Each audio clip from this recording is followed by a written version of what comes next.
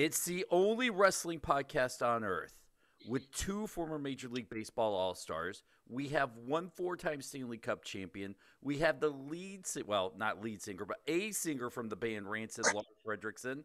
We have Petey Williams, the Canadian destroyer. How's she going, eh? Here we go. And guys, we have a very special guest, a guy that I've been a fan of for a very long time. And when this interview fell into my lap, and I'll be honest, it was pretty cool because very rarely do we get a lot of Twitter followers that go, Hey, we need you guys to have this guy on. But we started getting a lot of tweets like, We need you to get this guy on. We need you to get this guy on. And, you know, you just kind of tag him in a tweet like, Let's see what happens. And here he is now, the butcher himself. Hi, guys. Hi. I have a really weak voice. Everybody always gets, uh, like the first thing people comment on is that I don't have a very strong voice. So sorry to ruin that for you guys. Not you guys, but uh, the listeners, the watchers. Wait, did somebody just say something? yeah. but yeah, I don't have a really gruff voice. I think that's why I don't talk. So. Yeah, you hey, I mean, you no. look like you have the deepest voice, you know, in the world. Like, I mean, just uh, maybe it's the mustache. Yeah. That's what it is. What? Yeah, hey, I mean, you may not have a deep voice, but I mean, you look like you have a deep voice. Um, yeah, that's all that matters. So, as long as I pretend I do, that's good. Yeah. Um.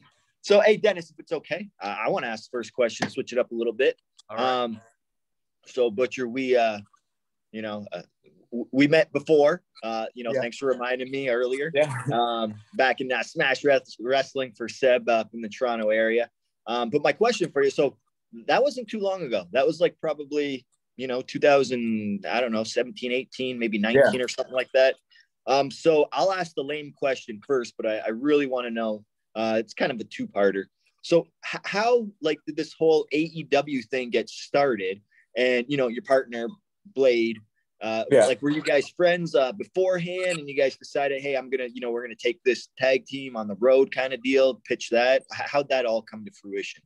Um, it it literally was just kind of like right place, the right time. So I was like working in Smash, and um, they were just they kept putting me in like uh, I mean I was working for a, a bunch of different indies, but like Smash I was at regularly because it's it's only seventy miles from from uh, Buffalo. Mm. And he was in a tag team there called the Well Well Oiled Machines that were great. I love those guys, man. Amazing. Um, and it just got to the point. I think like I think uh, Jess had just like left Impact at that time, mm-hmm. and um, it just kind of seemed like he was only doing Smash. And he, you know, we had been talking about doing something, and then it was just one day he was just like, "All right, screw it, let's do the tag team. Like, let's just let's just do it." And um, his his partner Mike couldn't get into the states, so it like it was on my end. It was it was perfect timing, but Mike, you know, got stuck in Canada. So, yeah. So you were kind of like his American tag team partner, and he had a Canadian tag team partner, and he kind of cheated on you both. Yeah, for a second, for a second. But Mike was like, the thing is though, is like Mike is so good. That Psycho Mike out of out of uh, out of um, Rollins, out of uh, Toronto. He's amazing, but he just he can't get in the states because of Canada being weird. Mm-hmm. Um, and like I said, it was just like me and Jesse were such fans of like 90s like action movies. So we just wanted to be like the weird guys that like the top heel would hire to like beat the bad guy up and then we would always get beat up. You know what I mean? And that was it. Just weird characters. I, I watched your interview with Miro and it's been making the rounds lately and it was one of those things that I I, I wanted to do prep. And yeah the the basis of your characters is you're just a bunch of weird guys without a backstory. And I think somewhere in this podcast we should sit down and create a backstory for you guys. I, I kind of have one. Uh, I actually want to write a comic book about it. So um, yeah, anyone that's watching this, if you do comic book stuff, uh, I have a story for you. Well, that goes into your look because you have this amazing classic look about you. And Lars and I, we keep going back and forth. When we knew you were coming on, that was one of the top things Lars and I kept going back to was this amazing look. And Lars, I'll throw it to you. Yeah, I mean, because uh, you know, th- there's so many questions I have for you, but this one will sort of settle. Uh, I don't know if it'll sell something, but I I kind of see you as like a bad news Brown meets Yeah. Jack Mulligan. Yeah. You know, it's kind of like it's your body, your style, your attitude, your Yeah. fucking- your merch is next level. Um, you know, it, it looks like like a like a fucking Cannibal Corpse T-shirt. You know, Yeah. It's it's, it's I, so I feel like there's this this thing about you, aesthetic about you, and I, and I wanted to know was this something that was like that you that you consciously connected to, or is it something that you kind of just fell into, or was this something that's just seems to like just naturally happen? I guess is I'm my I have like anyone that if you have any AEW wrestler on in the future, I have the widest imagination there is, and anyone could vouch for it. So like for me, I I, I thought that okay, if I knew I was teaming with with Jesse, uh, Pepper Parks, uh, Braxton Sutter, the Blade, or whatever like that, I knew that we were going to get noticed because he'd been around for a while, and I just wanted to go over the top creative. I knew we were going to get offers to wrestle for indies. And I knew that if we had a look that no one else had at the time, that it was going to get over. Because at the time in the indies, there was like creative stuff happening, but no one was really taking the reins on like the Road Warriors, like the weird, crazy looking dudes so I was like, well, I can't really do the baby face thing because I'm covered in tattoos and I can grow a mustache in like four hours. So like I was just like, I, I originally wanted to do like a Quint type character from Jaws. And that's but like Quint's a badass, but like the problem is is that like I had only been wrestling for like three years, four years or something like that. You know what I mean? So like I really couldn't have I didn't have matches with like Samoa Joe or you know what I mean? Like I had no history. So like I couldn't go the like Quint route because it's all bullshit. You know what I mean? Like I could say stuff about playing guitar in the band or something like that, but like that really doesn't translate in wrestling. And like Jesse taught me like the most valuable thing. He was like, if you want to get treated like a pro wrestler, or look like a pro wrestler. And I was like, all right, motherfucker. If that's the case, then I'm gonna challenge you. I'm gonna look like the fucking only pro wrestler. Do you know what I mean? Where like it's classic, it's it's the vibe is weird. And even when I changed my gear up, like I tried to throw subtle nods to like other Haas dudes in the past, like Hashimoto, like wore the sash. So like I'm a huge Hashimoto fan. So like Shinya Hashimoto was there. Obviously, like Abdul the Butcher, all the characters. And then with Jesse, he's so slick. Like his wrestling is so slick. And I was like, let's do a blade because he's super slick. Like I'm a dude that just chops the shit out of people, and he's the guy that will like cut them down. And it was just really weird. Like I said, random dudes. Like remember the dude in Roadhouse that had like the feather earring and like the toe blade? Yeah. Like there's no backstory on that guy. Like why the fuck did he have like a, a knife in his boot? And why did he have like like none of the other guys had a feather earring?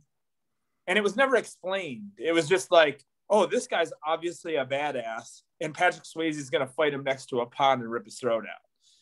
Well, Like he was destined to lose the whole time. And like I always liked those characters. They were always amazing in movies, and I always wanted to know more. It was like Boba Fett, like in Star Wars. Like you had this badass bounty hunter, and then he just got ate by a sandworm. like we really got blue balled on that one. You know what I mean? Well, hey, on. You said something super interesting a second ago about only being in the in- industry four years at that point. How long have you been wrestling? Because this this ties into another question I have. So I wrestled. I'm, I'm 43 years old. So I started wrestling when I was 18, but I only wrestled for six months, and I blew my ACL. So like I never went back to school after that, and then I started touring in the band for the last 23 years. So like it was going to music head on because wrestling obviously didn't work out. I tried it, my knee said no, and I pieced out. And then right around 36, I started like there was a school that had opened in Buffalo and I started training again then. And I didn't even want to like wrestle. I just wanted to bump around for like Jesse, really. That was it. Make him better. So we were talking to MJF uh, earlier in the week, and you and there was another young guy we were talking to, but it seems like there's this weird shift in the pro wrestling world where. I guess even before Petey's time, where if you didn't have 15 years in the industry, you were not getting seen on TV at all. Now we're in this weird time where there are guys with two, three, four years that are in prominent roles in some of these companies. And I guess this might be for Petey and you, but how did this shift to come about? When did it come about? I, I really think, I mean, Petey, I, I don't want to step on you, but I think it's the internet. People see things so fast, man. You don't have to make a videotape anymore and send it into a place. Like people see that reaction now. Like literally, like if a Canadian destroyer happened and people saw it right when it happened, when you first came up with it. Like it would have been on ESPN. Like it's a CGI move. Like it looks CGI.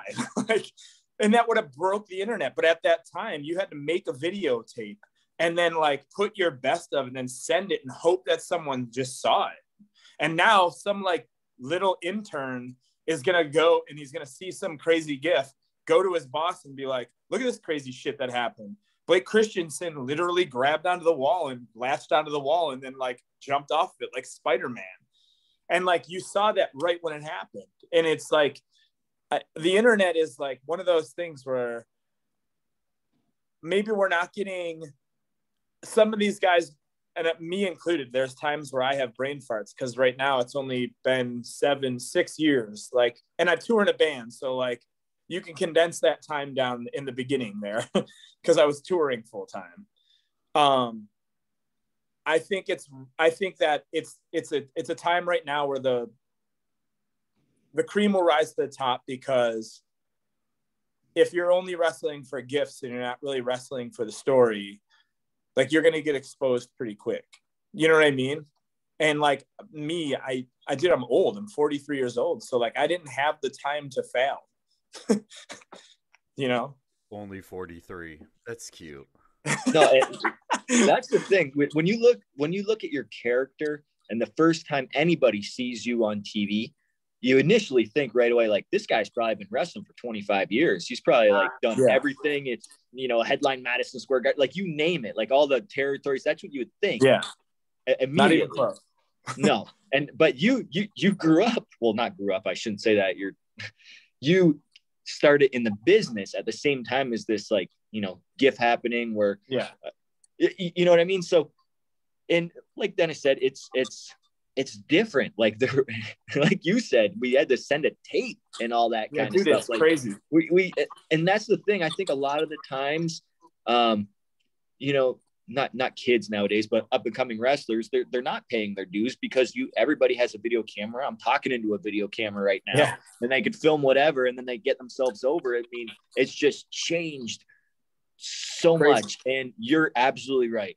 Uh, if you're just wrestling to do that next cool move, by the time people see a full match here, you're like, eh, you know, whatever. So, yeah, absolutely. I mean, you hit the nail on the head on that one. Uh, yeah. Since I'm here and I we talked about the question, so big merger.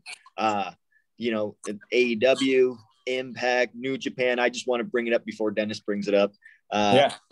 how how do you and Blade feel about coming on over to Impact? You know, you uh, strong uh, tag team division in AEW, strong uh, tag team division in Impact. What are your thoughts on that? Dude, I I like I have a couple dream matches, and one of my dream matches is the North. So if I could wrestle Josh Alexander and Ethan uh, Page, I would I would love to wrestle them. Um, in New Japan, like there's dudes that like I want to wrestle in New Japan. I'm like a huge Hirooki Goto fan. I think he's one of the best wrestlers on the mm-hmm. earth. And uh, if I ever entered a ring with him, I'd probably start crying. So you're killing your character right now, bro. I know, man. I know. I'm the worst. I that's, I gotta stop doing interviews, man dude. Let, let, and you brought up your knee. Is is that something that's always in the back of your mind when you're in the ring now? Is that you know when's it gonna go? Is it gonna go? Is it healthy? Um, you, you kind of have to like on something like that. Like I'm, it's healthy. You know what I mean? My knees are are healthy, but I am like aged for this business. You know what I mean? Like and even though I tour in a band, like I toured in a band before I was wrestling, um, like you're still sleeping in a van. You're not like, you know what I mean? Like I'm not, I'm not in a bus every single tour. And like, you know, I, I still like run out, run around on stage and like stage dive and, and stupid shit like that. So like my body is probably more messed up from that than wrestling. And like, I think when you have little injuries, you kind of learn how to like wrestle around them. It, it's funny because I had asked Lars, you know, ha, have you ever seen the Butcher wrestle? He's like, yeah, I've seen him a few times. And then I asked you if you've ever had interactions with Lars, and you said, yeah, you know, a, few times. And I, I just want to know, Butcher, can you can you tell me a little bit about your time meeting Lars? Yeah, there was Lars. We had um because we're we're both on Epitaph, right? And there was a weird meeting, like we were just getting signed, and you we were there, and there was catering, and you and I and Tim like were getting catering at the same time. And I have this crazy Tim Armstrong story that happened to me when I used to tour at this band called Buried Alive. Hmm. And um, it was in it was in Brooklyn, and him and Roger Miret. Now, mind you, dude, I was like 17, 18 years old. Like, there's no way Tim would know who I was. No, like, no way. You never know because my man's got a memory like an elephant. So I would not, I would not say that because I've, I've literally seen him not see somebody for 35 years, and then they yeah. come up to him and he goes, "Yeah, I remember you," and we'll tell you dates, times, and places. So just sorry to cut you off. This this is it was weird because like I said, I was I've never been anywhere at this point in time. Like literally just a dude, kid from Buffalo, and I started touring at this band Buried Alive. And like at that time, I used to document every single show I would go to. And like I think I only saw Rancid one time and I was in the crowd. You know what I mean? Like at this point in time. And him and Roger Miret came up to me. I had just loaded the band in the van and I'm just sitting out there like just resting.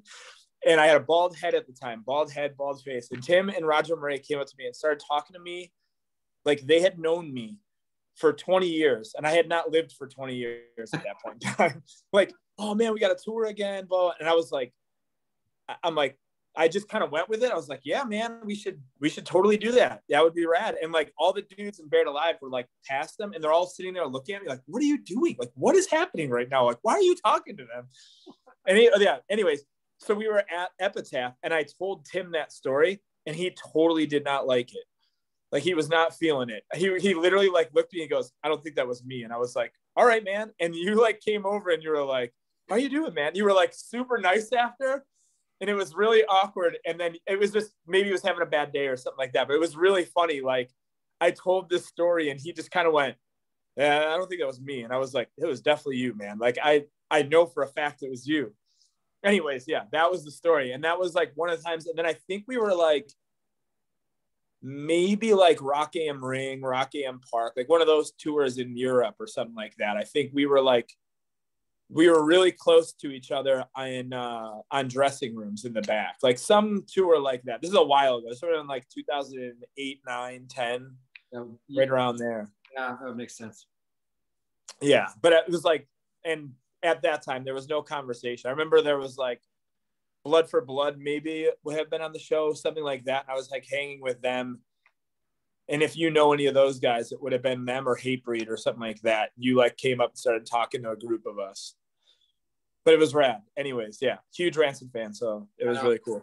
I'm a huge fan of what you do, and that kind of sort of leads me into one of my questions, is because, you know, I mean, most of the world probably does know you from the band stuff. So when, so for me, at a young age, like finding rock and roll, punk rock, whatever, and then finding wrestling, kind of happened. I mean, the rock and roll, I found that you know a couple years before punk rock. Yeah. Then wrestling kind of happened and I found that and I was like, oh shit. And so then the, the two worlds kind of collided in my world. When was that moment for you? What happened first? It was my parents were very, very into music. Like they weren't musicians, but like there was always music on at the house. And um and I was fortunate, like they had everything from like Led Zeppelin to like Bad Brains. I would like it was I got like the full, you know, like every kind of music you could possibly think of for my parents. Um, so it was a little bit before, but like I I mean, wrestling, I feel like there's there hasn't been a point in time in my life I didn't like wrestling. So like probably like like you said, probably right around the same time. Like if you see like someone like Jimmy Page, he looks like a wrestler. He's wearing like a dragon onesie and like That's why. then I when you see it, what was that? that's why I loved Kiss. Ex- exactly, but that was like it was pro wrestling. It's it's crazy that you say that because right now I just discovered RuPaul's Drag Race, and I'm realizing that like that's just pro wrestling again, and like or rock and roll. Like it's just a bunch of like huge, you know, huge imaginations that create these like looks, and like I think that was kind of like the fortunate thing for me, like music wise, is like finding that outlet like really quick and realizing like oh, okay, I think this is me.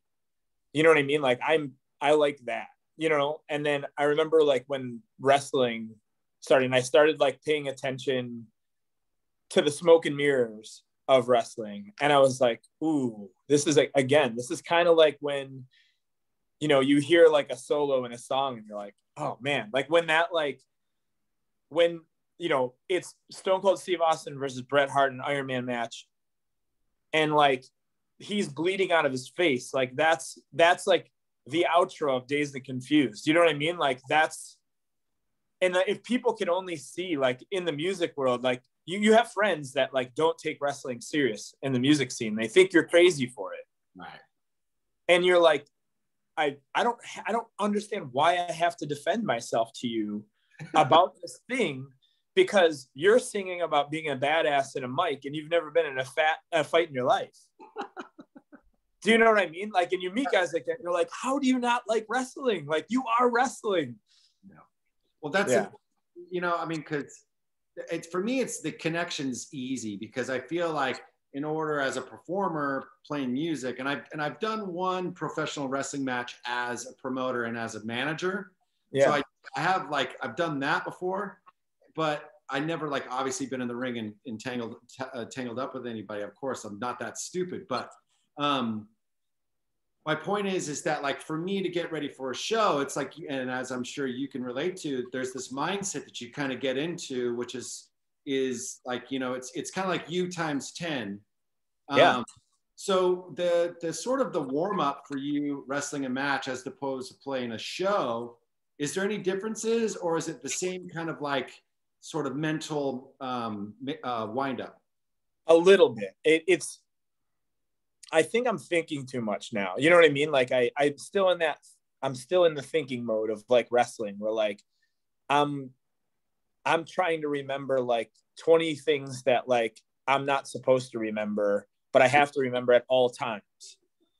Do you know what I mean? That like second nature stuff. Where like with guitar playing, it's like there's only so many ways you can play one of the songs that are already written. You're not like going out there and improvising like every night. We're like, imagine if we were in a band right now, we all played different instruments, and for 15 minutes before we were about to go out and play, we like wrote songs. It's insane. Do you know what I mean? So like the preparation's a little different because like you have a back catalog that you can go to where like you kind of don't. Like I have no idea what I'm to do in a match until I'm sitting there calling it with people and then the vibe starts and like you get it going. I don't know if I'm allowed to talk about, about that type of stuff, but like it's a lot like writing a song and it's it's it's just it's beautiful to go out there and understand that you're basically playing music but you're doing it physically and you're conveying a story just like you would in a song but you're doing it physically and showing them i don't know it like to me it's like a beautiful it's poetry for me like both of them obviously but I- I'm i glad. don't know I'm glad you said that because I thought I had a stretch question because you know you do a ton of these interviews and sometimes people try to try to make these parallels that aren't really there and they try to put them together. And my one kind of parallel question was is like putting a set list together for a concert the same as putting a match together for yourself. I, I want to answer that as well. Please. First, Butch. No, Butcher, you please. I, I I honestly think that's true because there's different I- Lars, I don't know if this is how you like different cities, there's just different vibes. And you realize that if you play Chicago and you're at the subterranean or you're at the metro or something like that, and there's no security, Like you really can't play the slow ones. You gotta just beat the shit out of them. Mm-hmm. You know what I mean? And then there's there's just different times and places. Like New York City is always going to be a bigger show, and like you're going to have like a different vibe for New York City than you are for Lawrence, Kansas. But Lawrence, Kansas is always awesome. It's just a different context. So like the set list has to kind of change because Lawrence, Kansas is like a college town of maniacs, and New York City is like usually there's maniacs, but there's also people out for like a Friday night. You know what I mean? So like the it's set list is a little different. It's a maniac city full filled with college kids now. yes, yes. Well, because I mean that's the thing when I because I'm the set list guy and I have been since I think about like the eighth show of the band. Yeah. And but the thing and my band always makes fun of me about it to the point where Branden has called me a professional tr- a wrestler trapped into a punk rocker's body.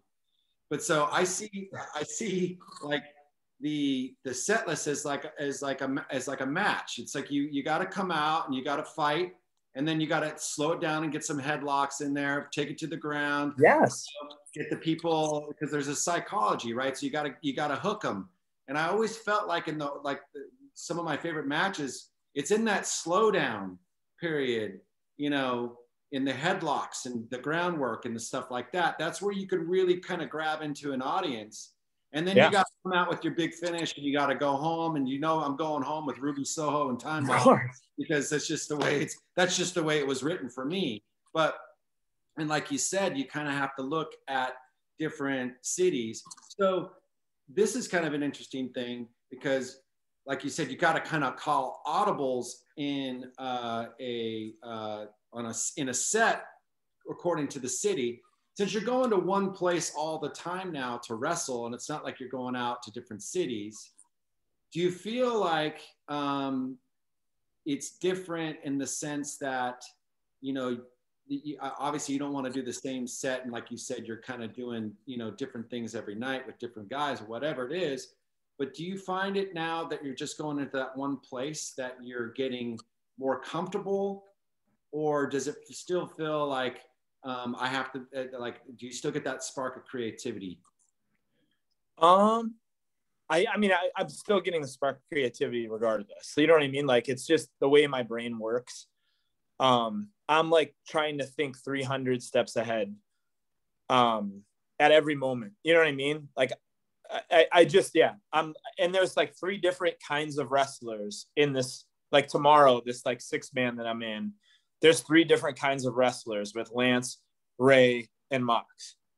So then you have to kind of like break each guy down and be like, okay, what cool shit can I do with this guy? And I'm still not that's still like my favorite part of of wrestling is like the creative part of it.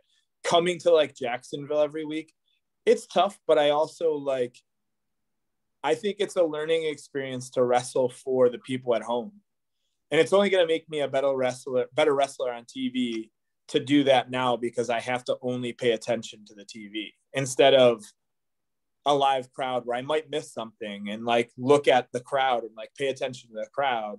Now i get to pay attention to that. And then when the crowd comes back it's going to be so explosive man. Like the energy is going to be so crazy. The energy is going to be crazy every single person on this roster that wrestles that night is going to cry in the ring i guarantee it you know, once again, said something great. I want to piggyback and turn it into a question of we're living in an age now where no matter what company company you look at, they have right now the greatest roster in wrestling history, no matter where you look. Even AEW right now, from top to bottom, has probably one of the greatest rosters in history. It's ridiculous. Yeah, it is. And then you essentially being a rookie, and I'm doing the finger thing for the yeah. podcast people at home. Do you find yourself still in awe? Do you pick people's brain? How? Uh, because there's a certain line of at that level where you have to, you can't really mark out, and you have to kind of act the role of a professional wrestler. But at the same time, you may want to go up to one of the more established veterans and pick their brain. But it's still kind of weird.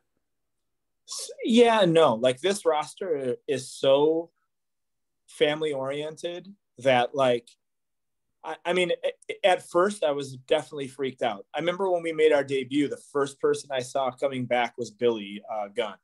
And he came up to me and just towered over me. And I thought he was going to like cut my head off. And all he told me was to make my finish a little more intense. And I, he was super happy, like when he said it. And I, it like blew my mind. You know what I mean? And like one of my all-time favorite wrestlers is Dean Malenko, and I talk to that guy three days every single other week. You know what I mean? It's it's insane. And I pick his brain. Um, he shows me stuff. I have Arn Anderson coming up to me after matches and telling me stuff. I have Jerry Lynn telling me stuff. Like the the most insane thing is that any person that's part of this thing that has that much resource and doesn't use it is an idiot. Like an absolute idiot. Regardless if you've wrestled for seven years or if you've wrestled for 70 years. Like you're getting real-time critiques from guys who have done this for countless years. I think we did some crazy like um oh, i can't think of it. Like uh the kevin bacon game. Like like third or three degrees of uh, and we can like this roster goes back to Carl gotch or something like that or like hackenschmidt or something like that like like someone wrestled like Billy Robinson or something like that. And like you can go back the lineage from the people that are part of AEW roster. It, it goes back in like to the 1800s. It's it's insane. That's nuts. I know Carl Gotch wasn't that time, but yeah. that that is so phenomenal. I I tell you what, Lars, I'm sitting here geeking out talking to this guy. This is a this is this might be my favorite interview since I got to talk on this one. No, I'm stoked because you know, just watching you and watching you grow and seeing you in other promotions and sort of knowing you from the band stuff. Yeah. being curious from that as well, and then watching how you kind of do your thing. It, it's been it's been really cool to watch, and it's and one of the things I also wanted to ask you, which you kind of answered, and um, is because you have this wealth of knowledge behind there, and I feel like we've you know I don't want to like out anybody, but um, I've, I've, asked the question before, you know, do you ever go back and, and, sort of seek out, you know, like, hey, did I do this or whatever it is, you know?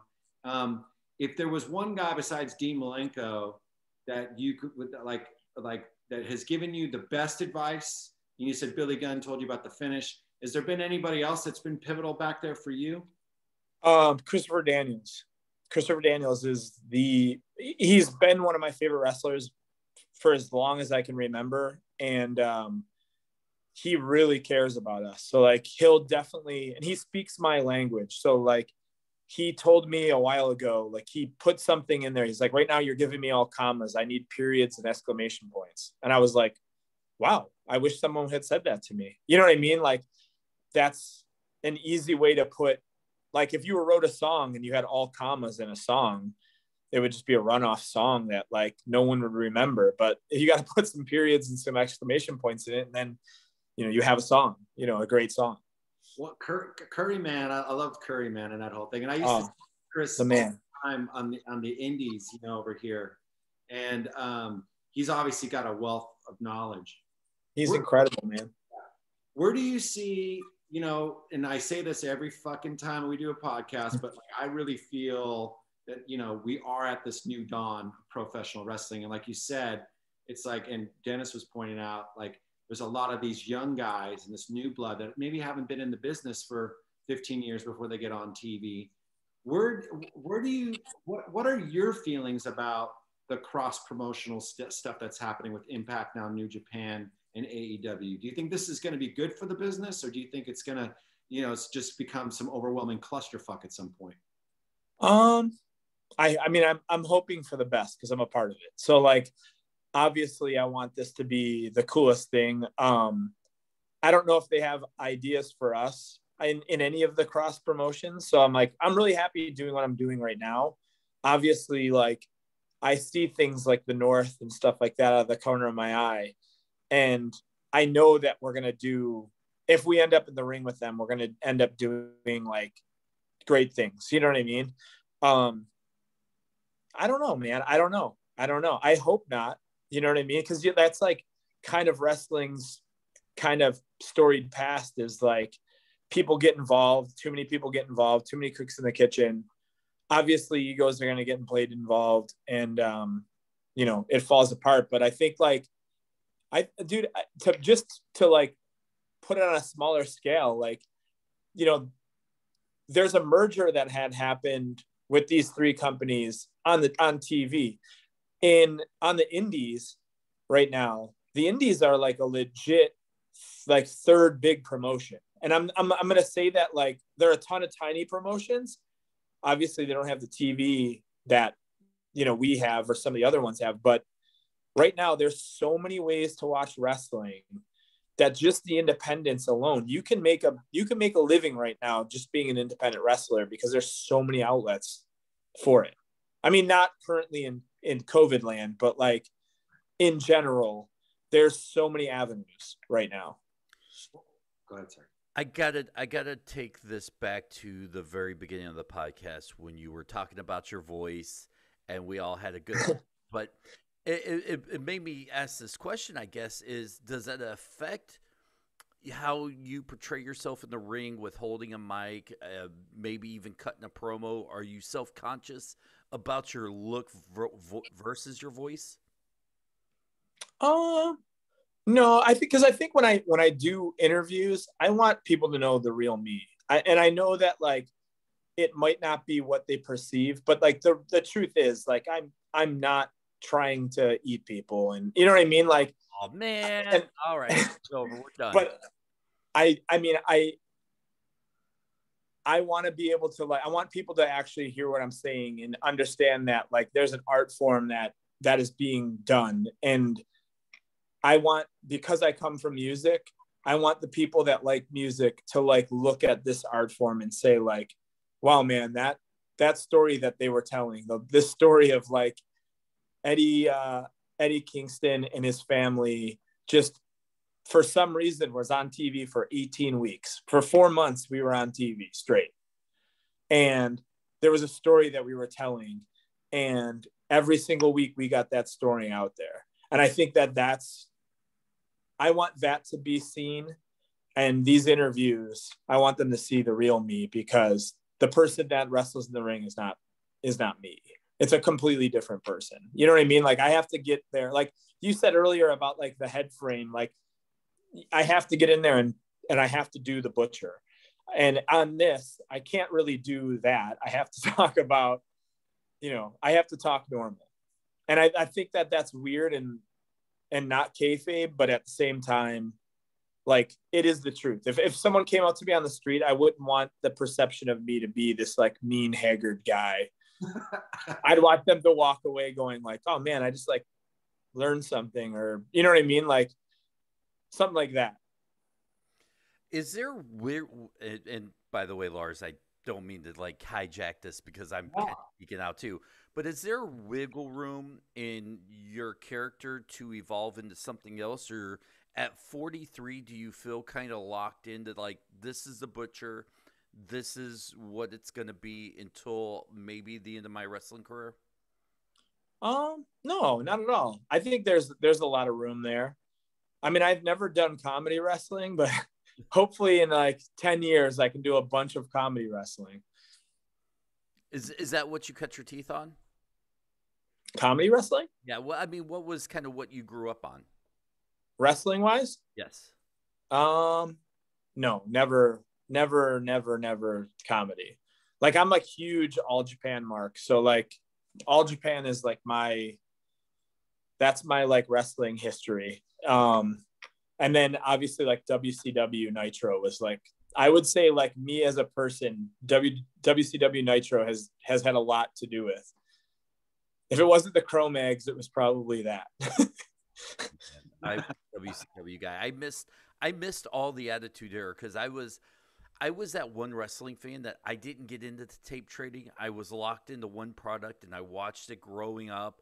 And I didn't do the dirt sheets either. And I still don't do them because I love to yeah. be surprised. So whenever I hear someone bring up WCW, it kind of feels like we're kindred spirit, spirits. Like, yeah. you know, because we're a dying breed of wrestling fans if we were WCW guys. Oh, dude, it's I I literally just watched the first Nitro the other day, and then I stopped watching at like the fifth Nitro.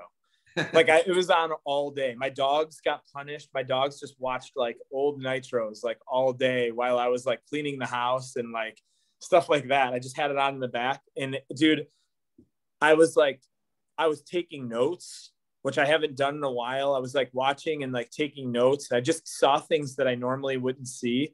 It was great, man. Like it WCW is so awesome because you never knew what was going to happen. You never knew what the next match was. You you know what I mean? Like it would it would be like it would be like some southern wrestler and like a luchador. And then I remember like seeing like Juventud, Juventud like come out and like wrestle like the gambler, and I'd be like, what is gonna happen? like, how do these guys know this? The, and then the match was awesome. You know what I mean? It was just it was awesome. Like WCW Nitro was like, it was awesome. Well, I feel like that's what AW, AEW is kind of doing is they're kind of bringing back the guessing, you know, and as yes. a fan, you know, that's what I've always wanted. I want that suspension of disbelief, right? I want to, yes. I want to surprise because this, the, the, you know, having that emotional connection or finding an emotional connection to someone um, is the most important thing, right? That's what we're all trying to do, whether we're, we're musicians or we're pro wrestlers. Yes. Um, so like, and I, I wanted to talk, kind of talk about the indies thing because before the COVID thing, I know the indie in my neighborhood was getting 300 people, you know, yeah, in a little high school uh, gymnasium, and it was awesome. And you're getting to see guys, a lot of the guys that are actually in AEW right now. Yeah. Um, do you feel like there is a more so comparing to what's happening up up north, as you guys say? Would you say it's a more of an independent kind of vibe in AEW? I yes and no. I think that I think that I think Tony like handpicked the guys that did the indies like obviously right. I mean you have Colt Cabana and you have like Chuck Taylor and you know what I mean? Like dudes like that that were on the indies forever and like they can put a TV match out there, or they could put on this like a crazy, like spotty, like indie thing that will like people will still like watching. You know what I mean? Um I think it has like there is definitely like an indie mind frame, but I it's definitely like I'm wrestling for a big league. You know what I mean? It's not like there's not like that. I mean, we get we get dressed in the actual locker room. It's nice. it's not like a kitchen. You know what I mean? It's it's nice. Yeah, I followed Pete around a, a ton of indie shows, and I actually met Pepper a few times out in. I want to say it was maybe a show out around Buffalo or Toronto, and they were. You're right, getting changed in a kitchen, and yeah, around the corner, the girls were getting changed, and it just kind of blew my mind. But that's what you guys do. Well, that's like yeah. punk shows, man. It's like exactly know, that's kind of what it is. And then, you know, so there's obviously you've done that, and then now you're in these dressing rooms. Um, I guess I guess it's the attitude that that that I feel like AEW has. It has that independent spirit, is what I sh- what Dude, I should. It literally is, and it, like, I know that like, it's cliche for someone to say like, "Oh man, that guy's punk rock." Tony Khan is like, he doesn't understand it, but he is punk rock a lot of what he does is just because he wants to see it done. Right. And it hasn't been done before. And I think that just the balls that you have to have to do that is insane. And that's like, dude, do you remember going on your first tour ever where you were like leaving home and going across the country with like not the right amount of money? do you know what I mean? Like, but yeah. like and now, like looking back on that, there's days where like, oh man, I would die to be broke right now. You know what I mean? Like the, that type of thing because you're so no. but you're so hungry. Is what I'm saying. I'm saying like in music because you're just like you're so hungry at that time and like everything is just flowing. Like music is just you're you're constantly humming a tune and like you're broke and like trying to make it happen and you're making it happen. And then it's so rewarding when it actually does pay off. And I think that like in wrestling, a lot of these guys have that exact same feeling where like for years they were told they had what it took and then they got to that point and then it got all taken away from them and then you know what i mean like and now we're all here in AEW and no one wants to step on each other. They everybody wants to build each other up. And I feel like that's kind of like in punk rock there's never like there's no like point system. It like no one's a better band than each other's band. You're just you're you have to realize that you're playing the show for the people and like if you're there and you've kind of like struggled when it gets easy it's not about you anymore it's just about them you just you make them like the fans enjoy the show more and more and i think that like i think tony understands that a lot of these guys have sacrificed and now hey i'm going to give you the universe you do you and i'm going to get it out there and i think that that's the balls that that dude has to do or has to have like to do that right now is insane he has he is like the most motherfucker of all motherfuckers. Once again, you were driving this interview, and I'm sitting here listening to you, and you're answering a lot of my questions. And you you talk about Tony, you talk about the environment in AEW, and I know once again, Petey, who was in the band with the Motor City Machine Guns, once once pitched yeah. it back like, "Hey, can we do our own theme song?" And they shot it down and you're in a company where Tony Khan is going out and buying all these major songs for some of these wrestlers that that fits these guys. Have you, being a musician, thought about or tried to pitch writing you guys' entrance song or recording something? Um, yeah, I was gonna try to do it with ours, but we we literally only had six days to to come up with something. So like I couldn't get into a studio and like do something in six days. So like Mikey Rukus, the guy that writes all the stuff for AEW, like he had something in mind. Um, we kind of gave him our like indie music, which was this band called Twitching Tongues. Yeah. Um, and kind of mimicked what they did a little bit to it. You know, it was very like stompy, two big dudes just going to a ring instead of. I really thought about it, and like Mikey had it like tuned up, and I had him tune it down and then slow it down and then it's now the music's like awesome when i hear it i'm like pumped about it so i always wanted to write my own like entrance but at the same time it's like it's one less thing i have to worry about which will be rad. It's kind of rad. But at some point in time i would like to. I, I, maybe maybe by the end of the year i'll i'll have something. All right so how many times do you hear somebody's music and you just judge the fuck out of it? Come on oh, all the time. All the time. Dude i'll tell you what right but then uh, there's other times where like like thunder rosa's music is insane. It's like sepultura. It sounds like a sepultura song. It's so cool. When i heard it i was like this is I, first my first i mean it's it's kind of not even close but brujeria you know it's like yeah. you know just it's got this whoa you know? Yeah. But you're right sepultura is actually way, way more closer than my thoughts but every time i hear it like if i'm if i'm in the crowd like when her music hits i get so pumped. I get so fired up. It's great. It's a great song. You're you're doing a lot of traveling. Do you listen to podcasts? Are you strictly music? What kind of podcasts do you listen to? It all depends, man. Like I I just got off a really I mean I'm still in it, but I just got off a like four month banger of being into like I'm just listening to Zappa constantly. Love Zappa. Um, yeah, real weird. Uh, like four months ago, I started listening to like I've always listened to Zappa, but like I've just been listening to Zappa lately. Um, and then podcast wise, like I always I like like I like conspiracy and stuff like that. So like I'll listen to there's one called um um conspiracy files or something like that. And they'll do things like Montauk and and like ghost stories and stuff like that. Does that have the yellow cover on the podcast? Yeah. Oh, I yeah, yeah. I love that one. Yeah, me too. The I think are those the podcast guys?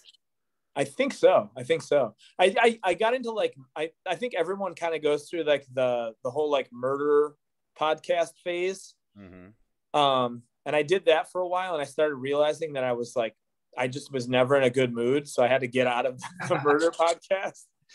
And then like when you're in the conspiracy world, a lot of times things sound like comic books. So it's kind of cool to hear people like actually think things are like real. So I kind of get in that. Like every once in a while, I'll throw a flat Earth podcast on just to entertain myself. And it's pretty fun. I I mean, think I'm sorry if either of you guys are flat earthers, No, no, no, like that. to me, to me, it's like uh, punk rock has taught me one thing, and that was to stay open-minded that all is possible. You know what I mean? Absolutely. And I, I so I, I don't really. I mean, we made a whole record in 1998 called "Life Won't Wait," talking about the Masons and the Illuminati, for Christ's Yeah. sake. You know, which people are now just talking about. Even Karens from Marin. you know, Yeah. You know, believe in it. So I, I mean, so I'm not a. You know, I, I kind of have a little issue that all these like yuppies are co-opting my issues, but whatever. Yeah. Yeah. I guess that was the whole point in the first place. But to bring it back to, to the wrestling thing, you know, um, so how, one of the things I wanted to ask, I've been meaning to ask somebody, how long are you guys actually there filming for a show? Um, it all depends. Like, so we do, um, like Dynamite's always the same time, like eight to uh to ten. Um, and then we film like darks around it. So like sometimes we'll film a couple darks before, and sometimes we'll film a couple after. Gotcha. So we're there, like yeah, and it's it's um, yeah. So we're there every week. Do you guys, st- you know, have meet and greets with the fans still, or is that all done? No. I know they had kind of letting in a limited section of fans, but I didn't know if there was any interaction between the wrestlers and the fans. No, we can't go anywhere near them. So that's like they do like amazing, uh, you know, health protocol Right. so like we're not we're not mingling at all with uh with anyone outside It's good and sad at the same time, and I, I'm sure you guys would love to just be out there signing autographs and taking pictures and kissing babies. oh man i i like miss people like big time i'm a people person so um i love i love meeting fans and like you know chilling by the merch and just talking to people um i miss it for Wow. sure Last question. Well, because I mean, I'm a tag team guy, right? So I, Yeah. Tag team wrestling was always my favorite. My, some of my, all my favorite wrestlers, whether it be the Rock and Roll Express or Road Warriors or, or whatever it is, like they've always been tag teams. You're part of it, you know. I think one of the best tag teams. Thank do you, do you, know, of course. Do you, do you like that style? Do you like working with another guy? I mean, you know, the singles thing is obviously a different headspace. What is way your, different yeah? So, what do you prefer the most? I love tag team wrestling, man. I love the fact that I can go out there with my best friend and I can actually show people that he's my best friend. And like we can make it look like we have one mind because that's kind of what tag team wrestling is. You know what I mean? So it's kind of weird. You kind of get those weird disconnects when it's just like guys who team up together because they don't really have the double team moves where like me and Jess now think like I'm never thinking about like a move I can do. I'm always thinking a move we can do. You know what I mean? Like it's never it's never me. You know what I mean? And I really like that. I like the fact that uh it's me and my best friend. Have you? Has it ever crossed your mind to go to Tully and Arn and corner those two dudes at the same time and pick their That- brains? That was like one of the th- there's we have a guy named Alex Marvez here who does like um some commentating um backstage or whatever. And we were talking and I was like, oh man, I want to I want to talk to Arn like really bad. This is like early on. This is like we still had crowds. And this early on when, for us being an AEW. And um, I was so nervous, man. I, I was like, oh man, you know, he's gonna yell at me or something, or like blah blah. blah. And I, Alex goes, Well, do you want to talk to him? I'll take you to him right now. And I was like, No, I'm not ready yet. Like I have to like I, I can't talk to one of my heroes just out of the just out of nowhere. Like I have to like I have to build up to this, you know. And then like 15 minutes later, he just walked up to me, goes, Arn's sitting in this room, he's waiting for you right now. Don't make Arn Anderson wait. And I was like, All right. And I like walked in this room and like, dude, it because these dudes still have it, man. Like they're not physically they can't get in there and they can't do it, but their minds are still there, man. And they're still thinking wrestling and they still see every in and out. Um, and Arn was like taking his phone and making his phone like a tiny little wrestling ring. And he was like going over strategy of things I could do Wow. to make myself look bigger and make myself look stronger while still make like still making a guy look great but still keeping myself strong and that was like a big thing i was kind of um i was kind of struggling with when i first came here because on the indies I was always kind of a baby face. I never was like a heel. We were like the road warriors on the indies. Then you come here and then it's like, whoa, you're healing and now you're healing on TV. So like now it's a crash course in like where's cameras, where's everything like that. Um and if I didn't have Arn and I didn't have Dean and stuff like that, like this would be so hard, man. Jerry, uh, to be honest with you, Jerry Lynn is like Jerry Lynn texts me like randomly during the week and he'll tell me like what matches to watch. I'll be like, oh, check this match out from from this. And then um, you know, he'll give me like homework and stuff like that. They really do care about us. It's awesome. And like I said, the Arn was terrifying because like I, there was a point in time where I just tried to dress like Arn Anderson. Like I had like like the glasses oh, that did went. you have the red solo cup to add to it? not the red solo cup, but I did do like the half glasses, like the glasses that went from like dark to clear. I shaved my head, had like a beard. I would wear like half shirts, like you know the picture of him and Ric leaning up against the Cadillac. Like, I don't have the balls to ask him if he still has that outfit, and I can have it. But at some point in time, I'm gonna go, hey man, I need those yellow shorts. I need that red top and that hat. Good. He's the man. So we're we're gonna wrap this up, and this is your first okay. time, hopefully not your last time. We definitely not the last. Thank God, because we I have a million more questions, and we're still gonna talk off the air because, like I say all the time, for you guys at home, the show's over. For us, we're gonna hit stop, and we're still gonna geek out over each other. Uh, Andy, where can people find you? At Andy complains on everything. Okay. And it's not like again, like I just kept my same handle. I didn't change it to the butcher. I think if you type in butcher of buffalo too, and it'll come up on on Twitter for Twitter, but at Andy complains on everything. And uh, Lars, we do want to take a second. The thing about it is, is this is I think this needs to be a two or three parter because I think we scratched the surface. It's like one of those things. It's you know, there's so much I wanted to ask you, and I'm just gonna have to fucking save it. Plus, more and more is going to happen with you guys. So yeah, I'll just, I just, you know, I just want to thank you for coming on and making, taking the time. I'll always do this. Tuesdays are usually my best nights. So if you guys ever want to do it Tuesdays, I'm here. Don't say always. That's how Lars became a co-host. He said, it. I got fucking swamped in this motherfucker, but thank God I did because you know I wish Dmitri and a few. I, uh, hopefully next time we'll get have most of the other guys with us too because yeah, you know, I think you would really have a lot, a lot of fun with DMAC and Dmitri and, and, and, you know, maybe get Petey for a full, you know, however long. Cause I, cause it's, it's a good energy, but I'm, I'm also thing, very stoked that it was just as intimate as it yeah. was. Yes. That does, that's the crazy thing, man. If you guys like think about what you guys are doing for professional wrestling, if this catches fire, it's insane because you're drawing people from so many different places and like I think that that's the re- that's the beauty of wrestling right now is there's so many different outlets, and one of the outlets is that there's now a podcast with five people that do five different things, but bringing wrestling to the center, and I think that that's really cool. Cool. Oh, man, we're gonna have to convert you to a fan. I'm in. I like. I listen to Rocky. I listen to Rocky Romero. Uh, what you think podcast, of that? The last one. I love, dude. Rocky's like, he literally is like and I mind you, I've just recently met him. I've always just had this little like he's such a cutie. Like yeah. he is such a cutie. Like I, I love him. I love his wrestling. Um, he's such a rad dude. Like every podcast I've ever listened to him, he sounds real.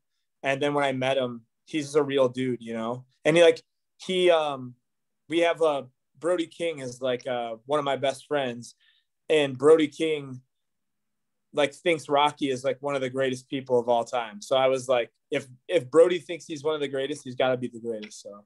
So here's what people don't understand about the Rocky interview, and I've had to explain it to a few people.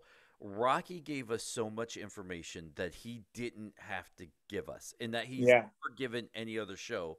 And wrestlers know what podcasts they want to talk to, and they have to do.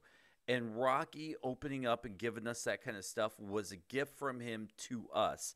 That, that was amazing. Yeah, that you don't get from anywhere else. And that right there is a perfect compliment.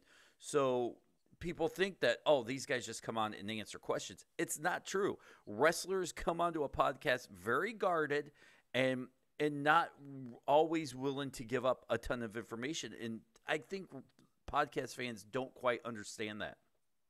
Yeah, it, I I think another thing too is like you're also seeing like all you guys are passionate.